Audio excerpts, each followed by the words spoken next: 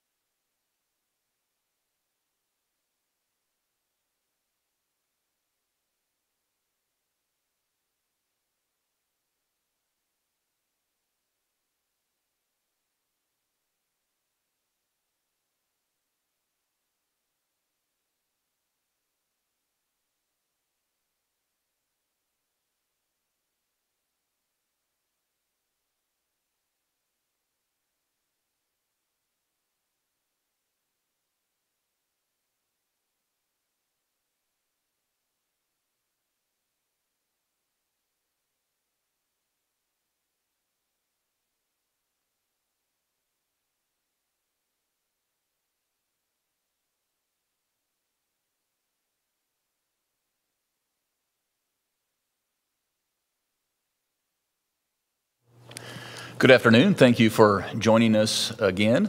Uh, just a couple updates on my part before we go to Dr. Box and your daily updates and contact contact tracing starts today. And then you've got a guest that's going to join us as well. But we've been we've been at this for a little over well a couple months um, daily, and we want to make sure that we're um, providing the public with substantive updates on a regular basis. Going forward, we will um, host these uh, press conferences at 2.30 going forward, Monday, Wednesday, Friday. Now, having said that, uh, if there is significant news that needs to be shared before Wednesday of this week, uh, we'll call an audible and we'll be here tomorrow at 2.30. Uh, same thing on Thursday. Same thing on Saturday or Sunday for that matter. But I, I did want everyone who's tuning in to know that we'll continue to, task force will continue meeting on a regular basis. We'll continue posting all of our updates on a daily basis so you can always, um, as Dr. Box, Dr. Weaver uh, refer to on a daily basis, you can always go to coronavirus.in.gov um, if you have um, questions, frequently asked questions, or specific questions, timely uh, about where we are on that day. We update those every single day. So coronavirus.in.gov, or if you have a question um, um, regarding employment or unemployment insurance benefits. Um, normally, you would see Fred Payne here on Tuesday and Thursday as well. He's still accessible um, every day, uh, but he also, you can get information from in.gov backslash DWD, Department of Workforce Development. So um, we're, we're, as we continue to get back to work across all of the state agencies, um, we will remain committed uh, to making sure that we continue to be transparent and up to date uh, through the various ways that we get our information out. So with that, I will turn it over to you for our daily on-the-ground update. Thank you, Governor. Good afternoon, Hoosiers. Today, we reported 511 additional cases of COVID 19 in the state of Indiana, which brings to our total 24,627 the total number of Hoosiers who have been known to be diagnosed with COVID 19. This gives us a positivity rate of about 17% among the 146,688 Hoosiers who have been tested to date. We unfortunately also saw 30, uh, 32 additional confirmed deaths. To date, 1,411 Hoosiers have died of COVID 19, and another 129 are believed to have died from this disease based on their clinical diagnosis. I want to note that uh, we had almost 6,700 tests reported yesterday, which is fantastic to see. As you can see, we've also had the percentage of our occupied ICU beds and available ventilators holding steady uh, throughout these past weeks and today. As I've said before, increased testing means increased contact tracing so that we can identify people who might have been exposed and ensure that they are taking precautions to avoid possibly infecting someone else. Contact tracing is a core component of any disease investigation. We've been doing this for well over 100 years here in the state of Indiana for TB, for measles, mumps, and now for HIV, and for outbreaks with foodborne illnesses. The real difference here is that this is just a much broader scale with a different disease process with COVID 19. It's something we're legally authorized to do, but more importantly, we're ethically mandated to do this to protect Hoosiers all across our state. We have a responsibility to protect Hoosiers from this disease. Contact tracing allows the state to respond swiftly to outbreaks and contain the threat of additional illnesses across our state. More importantly, it's how we help you protect your loved ones, the ones that you work with, your neighbors, and other individuals that I know you don't want to also become ill with this disease. Contact tracing involves asking a series of questions of people who test positive. For instance, when did their symptoms start? Or who they might have been in contact with. Did they go to work or school? To a grocery store? Did they eat out? Did they have a family gathering? We get a list of people they might have had close contact with, then we contact those people to see if they have symptoms and to provide information that they need to keep themselves and others safe since they might have been exposed. At all times, we protect individuals' privacy. We don't provide the name of the positive patient. We don't share personal information with others. All information is held securely at the state level. Traditionally, contact tracing has been handled by local health departments, but this pandemic requires a massive response. So today marks the first day of a centralized approach here at the state level. We have onboarded already 325 people to work as contact tracers through our partnership with Maximus. A total of 500 will be onboarded by the end of the month. These are all Hoosiers or individuals who attend school here in Indiana. We've had more than 4,700 people reach out to express interest in becoming a contact tracer. This includes students, the general public, and 500 individuals who responded to the Healthcare Reserve Workforce Survey and volunteered to help with this as a response. We will scale up as needed as we continue to move through this response. A total of 285 cases have already been loaded into the Microsoft Dynamics system, and outbound calls have already begun, as have emails and texts. I also want to put another plug in for the state sponsored testing sites around the state. You can find all of these at the COVID 19 testing link on our dashboard at www.coronavirus.in.gov.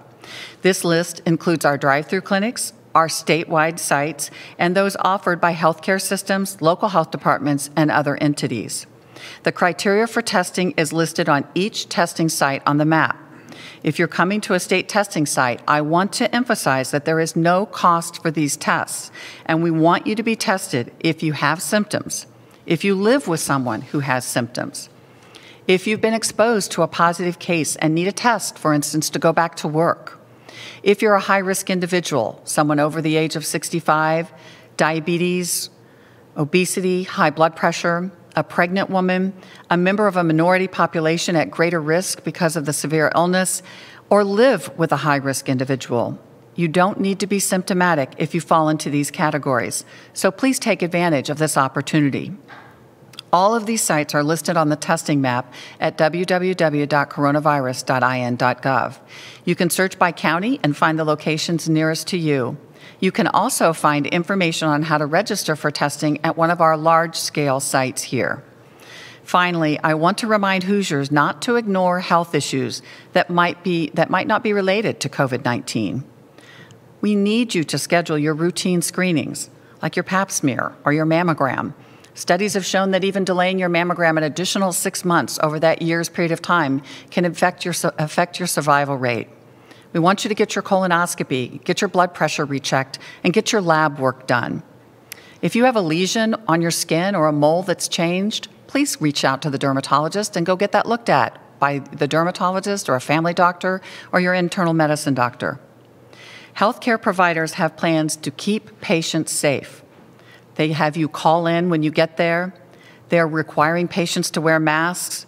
They are limiting the number of people in the waiting room, and they're spacing out visits and cleaning thoroughly between every visit. We do not want people to delay getting medical care and then wind up with a more serious illness or invasive problem down the road. Also, we cannot forget about our youngest Hoosiers.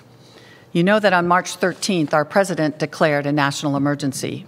And then on March 24th, the CDC posted guidelines emphasizing the importance of routine well child care visits and immunization because they knew that this would be at risk, especially for our children under 24 months because many of their vaccines are received at that time.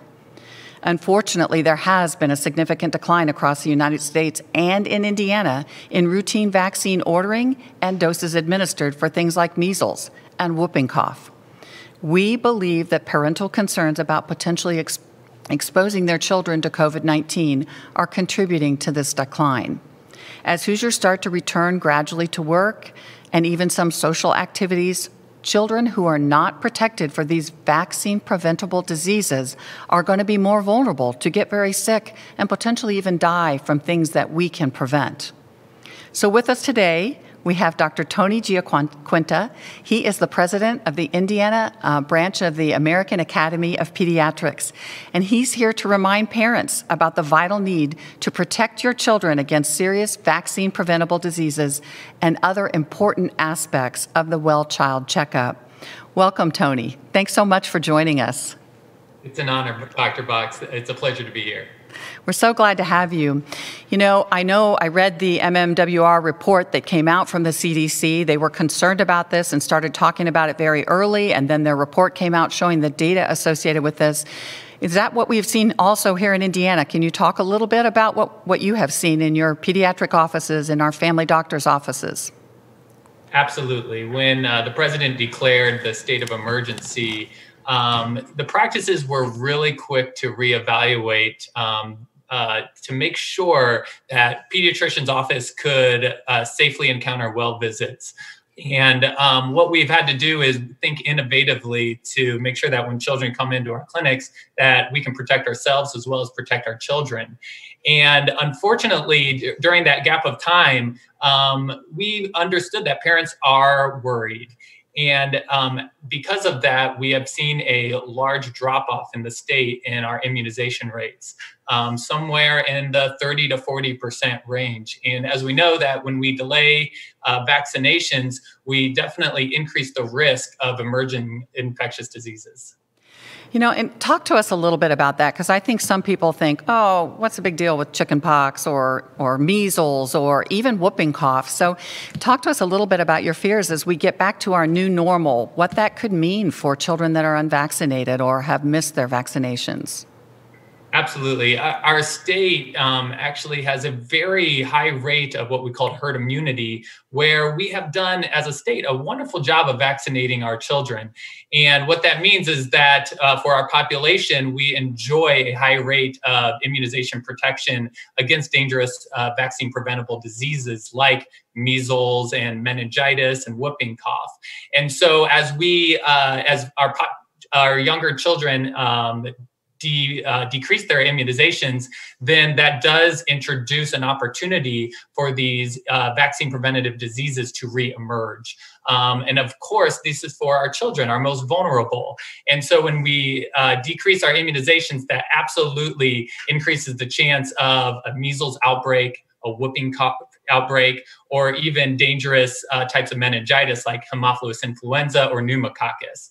Um, so again, uh, this is really highlighting the need to get back into your pediatrician's office. We are open for children, and your pediatrician needs to see you in their office.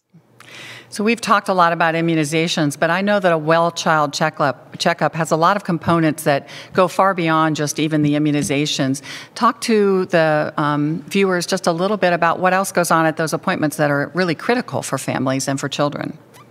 Yes, Dr. Box, when your child comes to our pediatric appointment, um, there is a lot of things that are going to go on to make sure that your child is growing and thriving and developing appropriately. So, some of the most important things that we do as pediatricians is we screen their de- development, uh, we perform a comprehensive physical exam, and then also one of the most important things that we do is a mental health screening, especially for our teenagers and adolescents, to ensure that uh, some of the stresses that they're experiencing during this coronavirus pandemic, such as increased anxiety and depression, is being addressed and treated appropriately.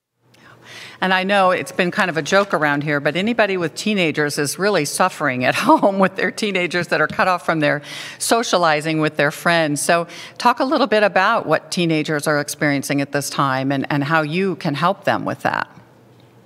Yeah, I mean, we know that our teenagers and adolescents rely on strong social bonds uh, for their own development and their mental health.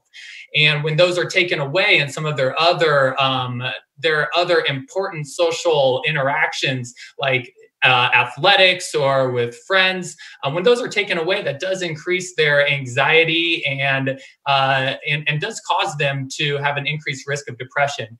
And uh, a lot of times, they're also picking up and reacting to the stress that we adults have been having, whether it's uh, uh, insecurity with our jobs, our finances, and they are also reacting to our own mental health.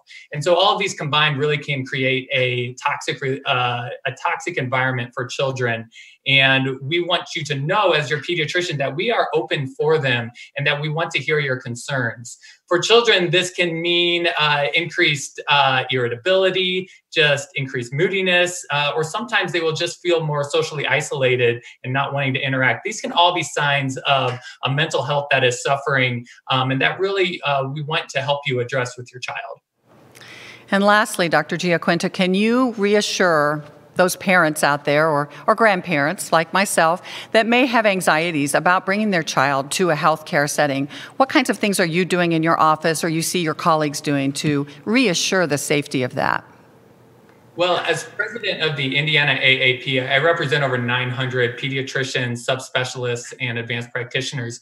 And we have collaborated uh, statewide to make sure that um, when you come into your pediatric appointment, we are taking many innovative steps to make sure that that uh, visit is a safe one.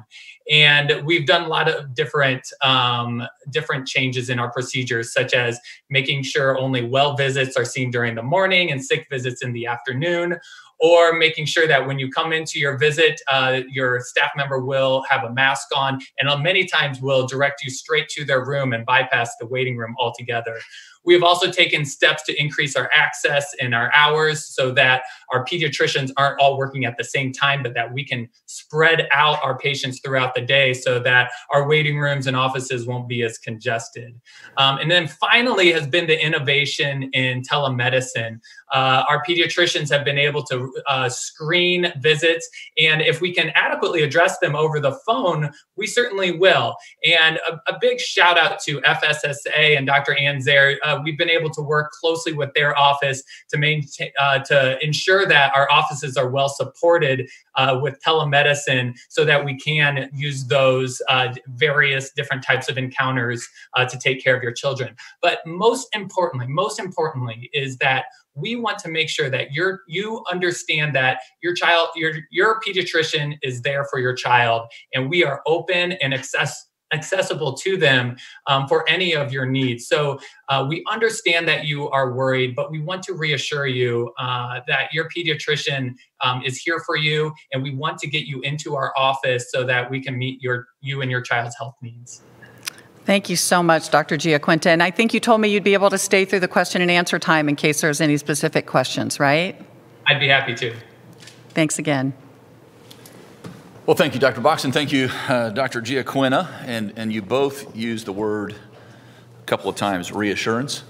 And um, I'll just reiterate or repeat uh, myself that that's the reason why we uh, conduct these press conferences on a weekly, daily basis, and why we'll continue to do that Monday, Wednesday, Friday. We, we feel comfortable about taking that next step um, in light of we put our back on track roadmap out that has these milestones or has these dates that lead through July 4th to give um, the public at large uh, that reassurance that if we remain on this course, this is where we will be as the uh, days and weeks and, in fact, months unfold ahead. But having said all that, I've talked about detours along the way, and, and uh, we'll be guided by that information as it comes to us on a daily basis, and we'll update folks on a daily basis.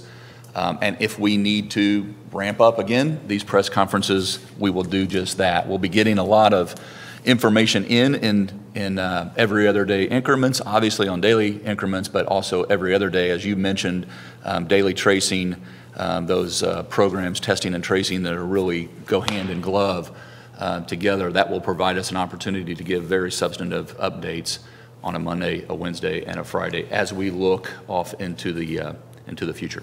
So with that, Rachel, I know we've got a lot of questions in the queue. Let's get at it. Stephanie Zeppelin, Wish TV. Good afternoon, Stephanie. Hello, can you hear me? We can, crystal clear. I had a race to unmute myself. um, so I have two questions. Um, first one for uh, for Dr. Box.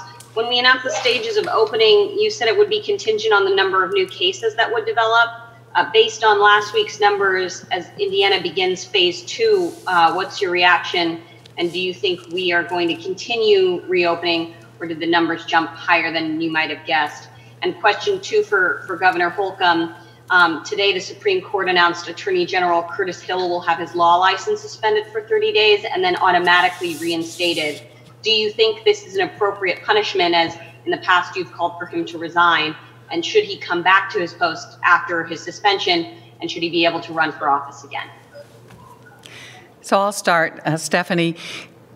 Part of the reason we didn't use specifically the numbers jumping um, is because we knew we were going to continue to ramp up our testing and increase our testing. And as you do that, you will find more positive numbers, especially as we're testing industry like our, our meat packing plants and our canning plants, and especially as we continue to advance and increase our testing in long term care facilities, our jails, and our prisons.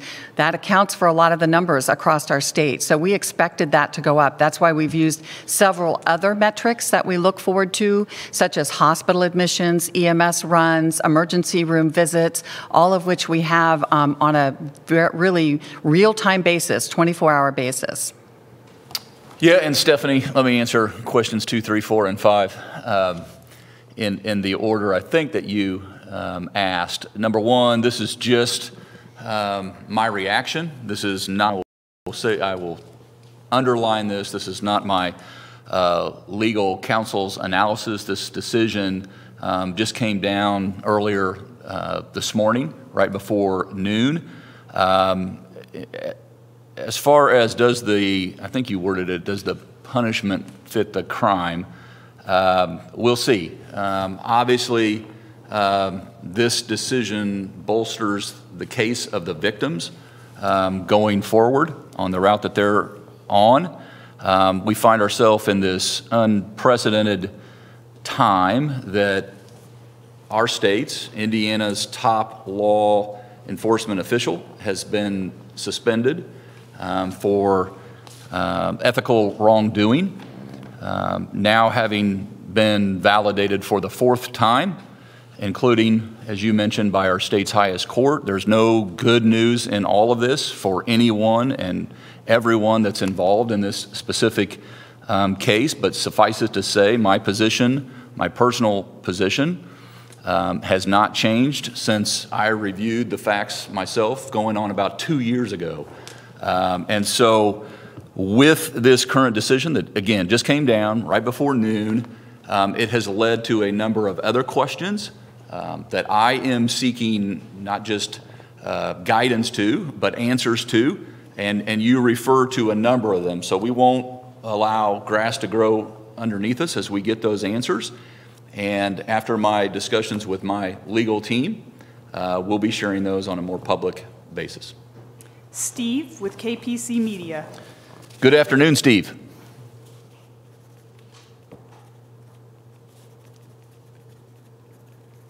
Steve, you should be able to speak.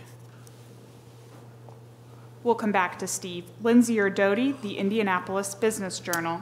Afternoon, Lindsay. Good afternoon, Governor. Um, real quick follow up on the Curtis Hill uh, ruling. So, would you consider appointing a replacement, or is that something you're still deciding as you talk to legal counsel? And then um, also wanted to ask about uh, several utility companies petitioned the IURC to allow them to collect uh, lost revenues due to the pandemic from consumers, and I'm curious what your position is on that. Yeah, I'll make um, any and all decisions that I have the authority to do so, um, and that is, Lindsay, as you as you ask rightly, um, something that is in question. And again, we'll be we'll be seeking um, a quick turnaround on those. I am seeking a quick turnaround on those questions to be answered. Uh, in terms of the utilities, that's why we have the IURC um, in place. They review these matters. Obviously, in terms of evictions or bills, those have been um, postponed, but obligations have not. Uh, and so that will go before the IURC. Rob Burgess, the Wabash Plain Dealer. Afternoon, Rob. Afternoon, Governor. Uh, good to be with you again. Sorry it won't be quite as often, but I'll take whatever I can get. we'll be here on Tuesday and Thursday. And that, that's a good reminder, Rob, actually, is um, just because we don't all huddle up together statewide, we're all still here every day. And well, uh, so yeah. please feel free to uh, directly ping us. For sure. I appreciate that, definitely. Um, Dr. Box, I did want to return to the presumptive positive cases. Uh, those have kind of steadily uh, risen over the last couple weeks since you first started announcing those. And I've encountered some skepticism from readers when I include those numbers in my stories. Um, will there be any additional information on these, like county level breakdowns of these cases, uh, which are being shown as one big number statewide right now? No, I, I, think we're a little over 100 on those right now. I'm below 120 or a little over 100. And we won't do any further breakdown on that. I, I will say to you that uh, the test is not perfect. It is, if it's positive, it is it is COVID-19. It's SARS-CoV-2 because we're we're actually doing the PCR for that. But if it's negative, it does not always mean that the patient does not have COVID 19. In fact, we, we found that to be true in cases. I actually had a good friend that reached out and said, been sick for two weeks. My test was negative a week ago. My toes are blue and I can't smell or taste anything. I'm like, you've got COVID 19. Go to the emergency room because she was having shortness of breath. So I think that we have to look at the entire clinical picture, and that's why it's so important that we let our healthcare professionals help us to understand why an individual died and make that, if, if they make that a part of the death certificate, we include it. Tom Davies, The Associated Press. Afternoon, Tom. Hello, Governor. Uh, now that we're a week into the uh, lifting of restrictions, uh, how many uh, are you still getting complaints about non-essential businesses operating improperly? Uh, reference to uh, the case in Benton County with the drag strip or the racetrack there, and then also, um, how do you believe the opening of businesses have has gone so far? Well, I mean, it's a good question. I'm glad you raised it. Joe, feel free to step up. But, uh, you know, this is going to be a daily reminder as we gradually, methodically um, bring more activity back online, whether it's, as, as Dr. Giaquina mentioned, it, if it's people that are seeking social activity or businesses reopening their doors, maybe at 50% capacity, or state parks, or every beautiful day that we have. Um, I, I see things um, through two different lenses. One is I'm so happy that people are breathing in the fresh air and getting exercise. Two, I don't want folks to abuse this um, opportunity. And so that social, physical distancing, um, hygiene, stepping up your hygiene is so critically important. I'm going to ask you to comment on this too because, because we're in the early stages of this. We're going to have to manage our way through this virus for the foreseeable future as we test more and we learn of more positive cases and we get care to the folks that need care. But this is not going to be July 4th. It's over. We're there. We're done. This will be with us for the foreseeable future. And so, how we conduct ourselves, our habits, our routines, critically important. And uh, I can just tell you, it's been somewhat of a mixed bag. Sometimes I get reports that it's like Christmas out here, everybody's getting out. And then I get the reports of, well, this business is not ready to open their doors yet because they can't do it safely. Thank you for making that decision. Not to not reopen, but to do it safely on a safe timeline. And so I have been very heartened, quite frankly, that uh, for the most part, what we are seeing, 99, I always say 99.99%, um, are concerned about doing the right thing for themselves and for others. And that is uh, encouraging to see. Uh, Joe, you might just refer to those individual cases because you're seeing um, yes. that concern expressed in a different in a different yes. way. Joe Heerens, General Counsel here in the Governor's office. I'll answer the question with uh, in a couple of ways. First, we didn't talk about this last Thursday, but in terms of the number of complaints that have been investigated going back the five weeks since the start of the uh, stay at home and moving through the, the various uh, stages of that, there have been 1,458 complaints. The number of complaints that were unfounded, 1,266, and there have been 138 verbal warnings. And it's been heart, you know, really heartening that that uh, even in the verbal warnings, in 138 of them, uh, they ended up, uh, those business owners ended up complying at that point. And that's important because we have to have compliance with the executive order. Hoosiers are good people. There's thousands of business owners that are across the state that are complying with the executive order, and that's really wonderful. Uh, with respect to Benton County, we did have a business up there that was given a verbal warning, and there was not compliance at that point. And so there was a conversation with them, because again, we're trying to work with businesses to get to compliance, not, not go right into enforcement. That's not what we've tried to do from the start. And so there was a conversation. Unfortunately, after that conversation, there continued to be noncompliance. And so we issued our very first cease and desist order. So out of the 1,458 complaints that have been investigated, only one has resulted in a cease and desist letter. And ultimately, the business came into compliance over the weekend, and that's that's appreciated. But that's uh, that's kind of where we stand with our enforcement effort. And the great news, as the governor alluded to, is that businesses are complying. They are complying with the executive order, and that's important as we move through the next few stages of this uh, roadmap that we've laid out last Monday. And there's a lot of local and state cooperation and partnership on this front, wanting to do the right thing. You want to talk about just kind of where we are right now? So, Indiana has done such a good job of social distancing, of staying at home, and, and that is why we we are where we are right now. As we gradually start to open things up, we know that people are going to be at increased risk of getting infection. And we know that we still don't have a vaccine. We know that we still don't have medicines that are easily accessible or definitely proven to treat this disease. So we know how critical it is to continue to protect our most vulnerable population. But I'd say also, I want to share something that General Lyles shared with me earlier, and that is that, you know, we've been working in very close um, Uh, contact here at the state level with a lot of our people across a lot of agencies, and he's had a lot of individuals from the Guard that have been spun up to help, help us out, and they had one individual test positive.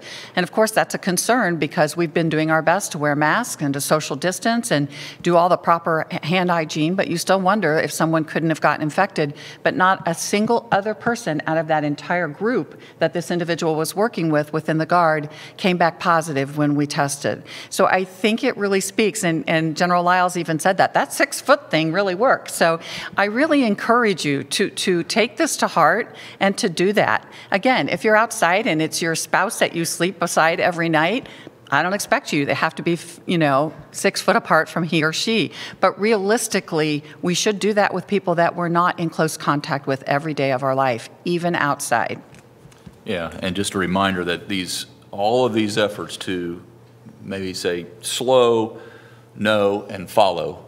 Um, slow meaning these the social distancing or physical distancing, the slowing it down by washing your hands or um, making sure that we have the proper PPE inventory, all those things in our response effort to slow, and then to know that's where the testing comes in. That's where we're able to um, allocate resources and, and kind of meet the surge with our own surge response, and then to follow, and that's the tracing. So the slow, the know, and the follow, three critically important ingredients to this recipe to, to defend against the spread and to keep it flattened, the curve flattened. That's where we are today. Um, but as Dr. Box reminds me on a more than daily basis, um, we have to be vigilant about all of our efforts. Rachel. We'll return to Steve with KPC Media. Yes, Steve, good afternoon. Good afternoon. Can you hear me this time? We can. Thank you. Sorry, my, my laptop's exhausted from daily uh, press conferences as well. So. we'll give it a Uh, breather. Do- Dr. Box, according to the most recent uh, reports on the ISDH site, Indiana's had uh, 129 flu deaths over 30 weeks, while we've reported more than 1,400 COVID 19 deaths over eight weeks. Uh, we keep dealing with posts on social media and just these unfounded theories that uh, places have stopped counting flu or pneumonia or, or other causes of death, and that everything's just simply being counted as as COVID 19 at this point. So, can you just review for us what boxes need to be checked for the state to actually count something as a COVID 19 death? Also, just verify again uh, my assumption that presumptives are not included in that in that total. And are there any indications that uh, these deaths are being wrongly classified or inflated in some way? No, I, I do not believe that we're overflate, inflating that number for sure. Um, I wish in a way that we were because it's a lot, a lot of individuals that have lost their lives. And unfortunately, more will occur, I'm sure, before we get the vaccine in place for this. But realistically, when we look at this, if an individual um, passes away and they have a positive COVID 19 test, and that was felt to be the reason for this death, then, then we, will, we will call that a COVID 19 death. If the individual um, was on their death certificate, the healthcare professional said that COVID 19 was a, con- a, contributor to their death, you know, whether that was that their heart stopped or, or that they had overwhelming uh, pneumonia, sepsis, whatever that is, and they put down that COVID 19 was a contributing factor to that, then that will be a COVID 19 death. But you can look at our website and see that we separate those every day if they did not have a positive COVID test at the same time. And a separate but related question, Dr. Kaufmann, would you like to just talk about the runs that you're seeing and tracking on your radar? So that we're not just looking at one thing, that Yeah, we're sure. looking at everything? Yes, thank you, Governor. Mike Kaufmann, State EMS Medical Director with the Indiana Department of Homeland Security. We are tracking a multitude of different data points. Um, that really starts from the time that someone were to access the emergency medical services system. So the time that a 911 call is placed, we're looking at the different complaints that someone might be complaining of to the public safety answering point. And then once the EMS crew arrives, we're tracking symptoms such as influenza or COVID like symptoms that a person might complain of. And then after an assessment's been completed by the paramedic or EMT, we're also looking at reported symptoms such as cough, shortness of breath, and even fever. We're looking at these trends both locally as well as across the state. We're looking at those by district, and we're able to track those numbers and use that data to help Dr. Box and her team look at overall incidence and prevalence of, of where we're seeing um, COVID illnesses pop up across the state. That's been very helpful, especially as, we, we've looked across the state to uh, where to allocate resources, where to allocate testing, and as we look to see how we're doing with the, um, with the reopening plan and where we're at and where areas are, are progressing nicely according to the governor's plan. Thank you, Mike. You're welcome. Brandon Smith, Indiana Public Broadcasting. Good afternoon, Brandon. Afternoon, Governor. I'm going to have uh, two or three questions here since we're going to be doing these a lot less. Um, first, to Dr. Box, on contact tracing, you said that the information is kept private. Uh, help me clarify that first. If I get called by the contact tracing call center and they say, well, you've been in contact with someone who tested positive, am I going to know who that person is? And then, secondly, okay, so, and then, secondly, um, what if someone refuses to cooperate with the contact tracing? And then my question for Governor Holcomb is we've known for at least six months, if not more, about the possibility of Curtis Hill's law license being suspended. How were you and your team not prepared to know what can or cannot be done with a 30 day suspension? Yeah, because that, that question was not before the court. Um, And what I would say is that, no, we do not call an individual and say, hey, you were exposed to Mike Smith on Saturday at the wedding, and we think you could have, you know, COVID-19, or you could show up with COVID-19. We do not release names with regards to anyone. Now, do sometimes people figure that out? Probably that happens. Or do sometimes people reach out themselves because they're concerned and they know the people that they've been around and they, they want to protect the people that they care about and their neighbors, their coworkers, their family. So that does happen sometimes, but that is not going to come from the State Department of Health. Um, so I cannot force someone to tell me who they've been in contact with or where they've been. Fortunately, we've not really run into that problem because Hoosiers all across our state want to protect the people that they care about, the people that they love. They don't want to infect someone else. And, and that has been a big concern. So we haven't really run into that issue, at least to my knowledge, at this point. Yeah, and I would just, I wasn't trying to be flip, uh, uh, Brandon. Um, when I said this question was not before the court. It wasn't. You asked how I might not know. Um, the answer is I'm not omnipotent. I didn't know if they would speak to this question. Um, they did not, as far as I've reviewed so far, but this has only come out right before, before noon. I did not uh, contact the Supreme Court in any way. We did not in this office or interfere or ask for additional questions to, be, to come before them. Um, obviously, the, the, uh, in one chamber during the legislative session, uh, this, this issue was addressed, um, but it did not pass out. I said at the time that it would be uh, helpful and it would clarify uh, this exact question, uh, but it wasn't addressed legislatively. I would have signed that bill into law. Um, and so then it went back to the court. Again, I did not interfere in any way. Um, but um, knowing now where we are, uh, I will get with my um, legal counsel and my team here internally and see um, what are the steps ahead. What do they look like? Yes. Yep.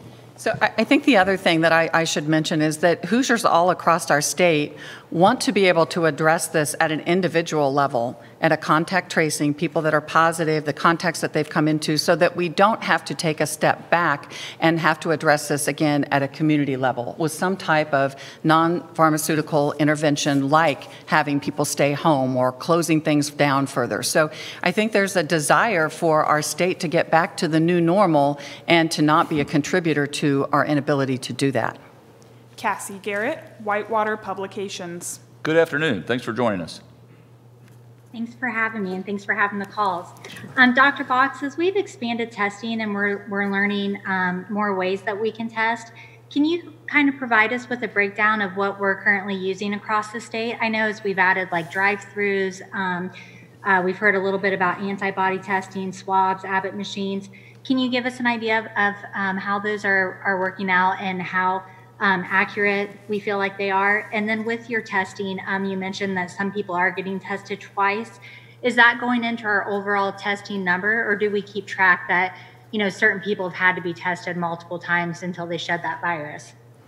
Very good questions, and that is why we do cull through the data to make sure that we aren't counting people multiple times. There are some individuals that are, in order to release them back into, say, a long-term care facility or, or back to their home where there may be somebody there that is at particularly high risk that are doing some follow-up testing to determine if they're still positive for the PCR for the virus itself. So the, the PCR is the most widespread testing, which is the nasopharyngeal swab that we do in the nose area and then send that off. And again, it's very accurate. If it comes back positive, you have SARS-CoV-2 virus there on that, on that test.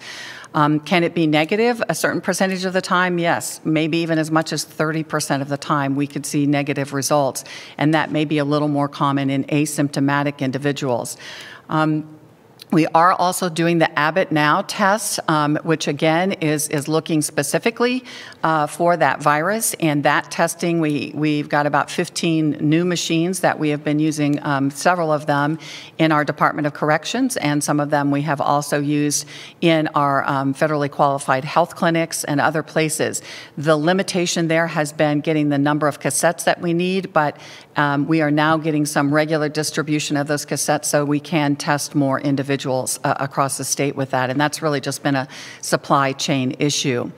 You may have seen that they also recently um, just approved um, an emergency use authorization for a saliva test that individuals can collect at home, which is if you've ever done like the 23andMe or some other test for genetics, uh, you just basically spit into a tube and send it back in, and then we can test that. That is not very widespread, of course, at this point in time, and there's only one test that I'm aware of that's approved for that uh, through Rutgers, out at Rutgers. Um, and then the other antibody testing, we're starting to see more tests. Um, I know the um, FDA pulled back some of the EUAs that they had so for some of the antibody tests because they just were not good tests, meaning that some of them were testing for the coronaviruses, many of them that cause just the common cold, which we probably are all going to be positive for. Um, and there, the concern was that it may not be accurate um, and we may not be giving good information to people. As you may know, on our study, we did do an antibody test, um, and we're going to interpret that very cautiously cautiously and very carefully with individuals going forward and continuing to look as these EUAs are studied and we'll know whether these tests are actually good, good tests or not going forward. So just to put a bow around it, um, we've got, the state is partnering with various entities on a daily basis. You just mentioned it your, in your report, 6,600 plus tests over the mm -hmm. last 24 hours um, with so IU Health and Lilly and mm-hmm. all over the state of Indiana. Um, we've got the drive-throughs all over the state of Indiana that are mobile, move around. We tested a little over 8,000 individuals in our drive-throughs at this point in time. And we have the Optum sites. We have 20 sites up and running now across the state. The additional 30 will be added this week, I think starting on Wednesday. So there'll be 50 sites. Plus there's an additional um, almost um, oh, 80 some sites. So we have a total of 124 sites right now that are either hospital based, local health department based, or other entity based. So there's a lot of testing out there right now. We just need to get people to do it. And and and that goes directly to my next point, and, and you referred to it, the Fairbanks study that's doing almost 5,000 times five over the course of a year that includes the antibiotic mm-hmm. test. Yeah, the, the antibody test Which, too. So we'll have some results, I think, uh, midweek, maybe Wednesday. That's, that's what's on my calendar. Okay, then that's, then that's I'm told we'll know by Wednesday. Thank you. Rachel? Stephanie Wade, WRTV. Hello, Stephanie. Good afternoon. Hello, can you hear me? Yes, crystal clear. All right. Well, happy Monday. It is. You too. Yes. Obviously, some businesses were able to open today. Um, I had a question about how you were able to decide which businesses to open when for instance, we had a campground owner reach out to us asking why campgrounds were in phase three of reopening, along with gyms and movie theaters, and not phase two with other businesses, you know, since they can spread out and can social distance. Um, states like Maryland and Virginia actually lifted their restrictions on campgrounds, realizing the same thing. So, any reconsideration there, whether it's campgrounds or other kinds of businesses? You want to speak to that? I can too. So we, we are looking at all of those things. I, will be honest with you, when we looked at the gyms, that is a place where we frequently see a lot of influenza and a lot of other de- diseases that are easily spread because people are in very co- close quarters working, uh, working out and sweating and, and breathing heavily. It's a hard thing to do with a mask on. The equipment is an easy way to, to spread that. So we were really trying to, again, do this gradually and open it up little by little. The thing with campgrounds are that when you first open something up and not everything else is open, everybody flocks to the campgrounds. I know just the, the park out at Fort Ben where I love to go. It, I love it, and I've never in my life seen it as busy as I saw it last weekend, which, which was great. I was glad that people were out. But again, when you talk about campgrounds where people are sleeping, then you've got, you know, the facilities where people use the restroom and they shower and everything else, and the importance of being able to make sure that we have everything in place at those facilities so that we can protect individuals individuals. That being said, I'm a big supporter of getting outside and hiking and getting your exercise in. I think that's really important, and that's an easy thing to do to stay six foot apart and to be able to um, wear, wear your mask if you are in, around people. Yeah, and I would just say, Stephanie, that's when, if you rewind the tape and go back a few days, uh, over a week, um, that's when I kind of talked about most of this is science, some of this is art, because you're having to make decisions uh, about different waves coming back online or re-engaging. And so while we would love to say, you know, campgrounds, youth leagues, gyms, um, restaurants at a higher percentage, uh, churches, movie theaters, everyone um, can start to make accommodations, safety accommodations, but how we gradually um, bring folks back online, we have to spread this out to make sure that the virus isn't spreading and that we can continue to dial up or down as we go. And so they're, they're tough decisions for sure. Um, we're trying to get us all at the same place at the um, in in July, August, September going forward, uh, but we couldn't just all lurch and and all spin up at the same time. Jody Kaufman, WRBI. Hello, Jody. Hello, Governor. Thank you for taking my question. Sure. Um, it's kind of, I think, possibly a follow up from last week. It's my understanding from sources that the state sponsored testing sites um, require the local county uh, health departments to provide funding for the site as well as um, cleaning tasks daily and beforehand. Uh, my question is um, they're already overtaxed in funding from the pandemic themselves will any of that funding from the $300 million go directly to our local health departments to help them with their budgets? There certainly may be some monies that come to the local health departments in that respect. I, we really haven't uh, put much of a burden on them. We did ask if it would be possible to help with uh, the cleaning of the sites afterwards um, within their communities because they work within their communities and they know the individuals who could clean there and us from the State Department of Health trying to reach out and do that. I think that is something that we could, if that's a huge burden, certainly uh, work with um, the general and other places that are volunteering their um, areas uh, to see if we can help with arranging that cleaning. Cris, you want to speak in a broader sense to how funding is making it to locals and, and when? Sure. Um, Cris Johnston, uh, Director of the Office of Management and Budget. Uh, we had spoken before regarding the uh, $300 million uh, that is directed to uh, local governments for uh, fighting the, the pandemic. And this would be an eligible cost if it's not covered from other revenue streams. the reason I raise that is the last installment, what's called CARES 3.5, included a provision uh, to uh, state health departments for um, testing and contact tracing. And so we'll be also looking at that and looking at the uh, availability of not only the state of Indiana's cost, but its use at the local level. Thank you, Cris. Sherry with the Indianapolis Star. Good afternoon, Sherry. Good afternoon. Um, I have two questions for you. One is looking at the numbers out of Marion and Lake counties, obviously it's Monday, it's a long week.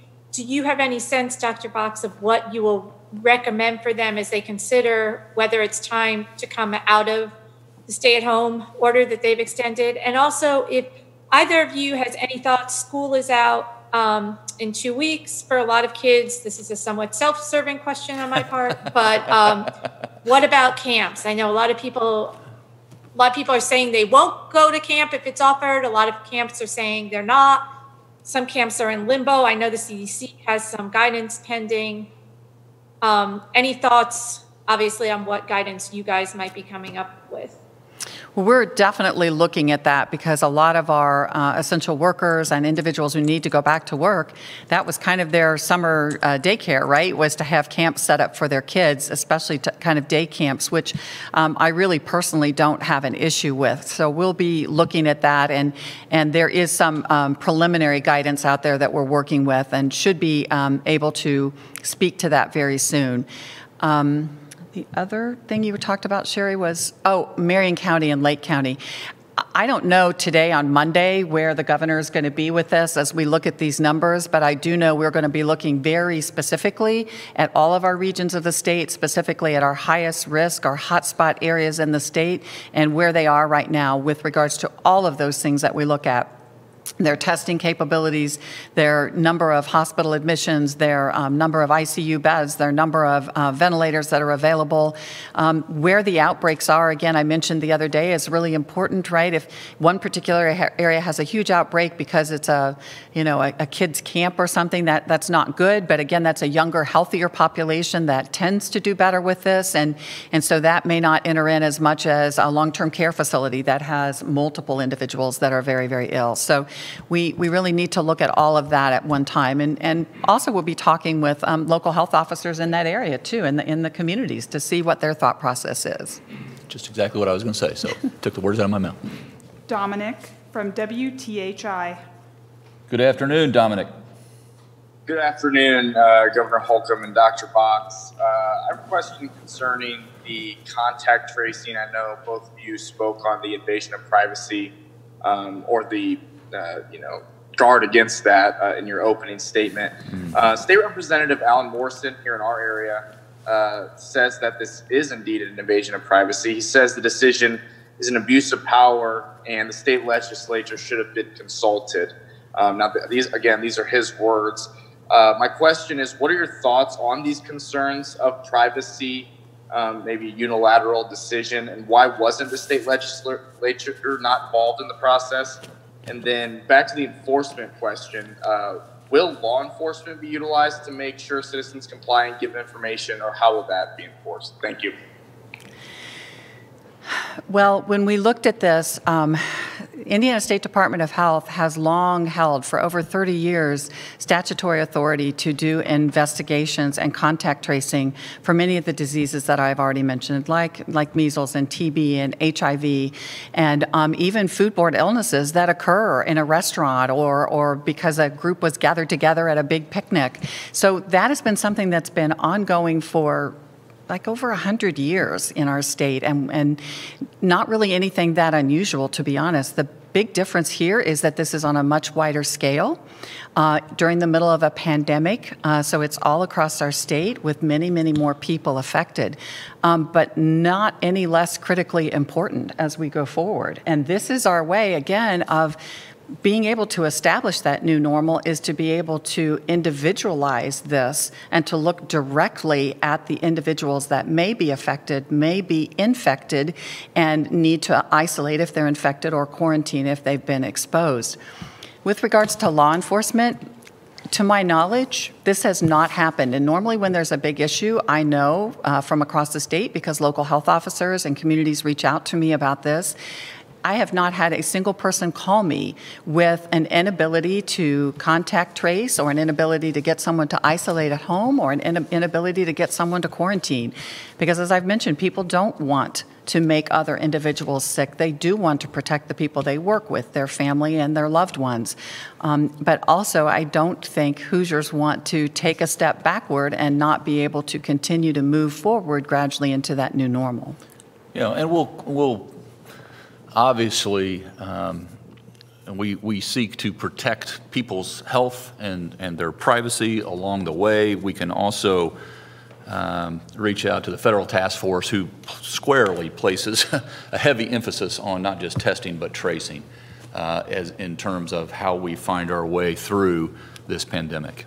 Our final question is from Nikki Kelly, the Fort Wayne Journal Gazette. Good afternoon, Nikki. Hi, Governor. Um, I was wondering, I had two quick questions. The first is the Trump administration has said we need to test a million nursing home residents and staff in the next two weeks. So I wanted to see if that was frankly a little too late, too little, too late. And then second of all, I've had questions from people who've been to the BMV and say that workers are not wearing masks. So I wanted to find out what the requirement is for state employees. Mm-hmm. I will say, uh, with regards to um, the recommendation out of the White House, um, we knew that our, our long term care facilities would be our highest risk individuals. We've messaged that from day one, from the get go, and tried to protect them. We have used um, the limited testing that we have um, had across the state very, very um, judiciously um, in especially our long-term care facilities and been very, very careful to test even asymptomatic individuals there that we knew could be in close contact or exposed. And, and the same thing within our prison system. Um, to to put into perspective, testing every long-term care resident and every employee would be, in the state of Indiana, around 100,000 people within the next two weeks. So that is a, a lot to bite off at one time. I will say that realistically, we already have been messaging our, with our long-term care facilities that if you have cases, we want your employees to come and get tested. We want to know.